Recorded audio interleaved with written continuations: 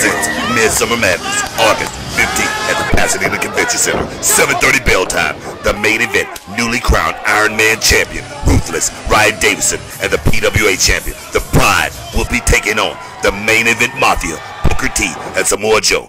All the PWA stars will be there, as well as special guests. You don't want to miss out. You don't want to get shut out. on the best show in town, the PWA. Now, can you dig it, sucker?